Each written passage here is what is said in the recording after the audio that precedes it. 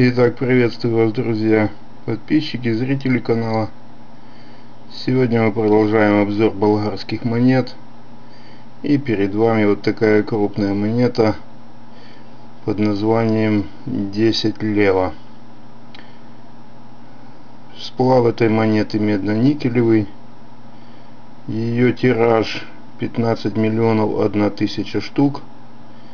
Диаметр 30 миллиметров толщина 2 мм, вес 11 грамм, гурт ребристый, валюта болгарский лев. Ориентация медальная, художник легенды Иван Лазаров, период Чекана, один год выпуска, 1930. Здесь мы видим изображение всадника на коне, льва и собаки, а также надписи Крум 814. Крум это хан Болгар с 802 по 814 год. Крум Грозный, как его называли.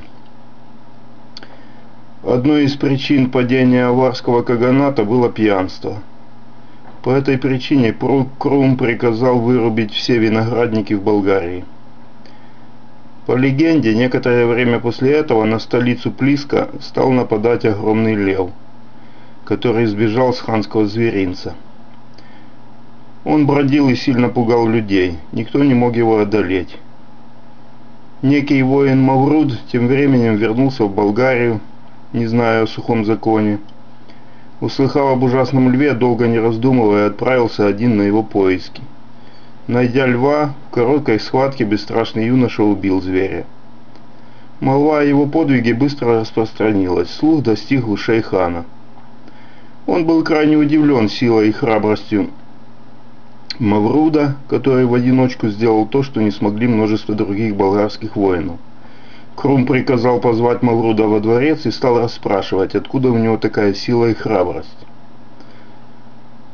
Вот. Ну и Мавруд честно ответил, что до поединка выпил чашу вина, которого дала ему мать, и что в вине источник его силы.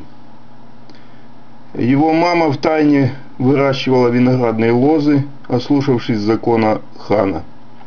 Крум был поражен таким ответом храброго Мавруда. Он щедро наградил юношу и приказал восстановить виноградники в Болгарии.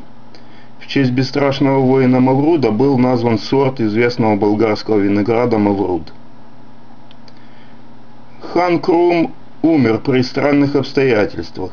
Согласно источникам, из его рта, ушей и ноздрей потекли реки крови, а согласно одному из них он был убит неведомой рукой. Итак, Согласно легенде, на монете изображен сам Крум Грозный на коне вместе с собакой во время охоты на этого льва из легенды.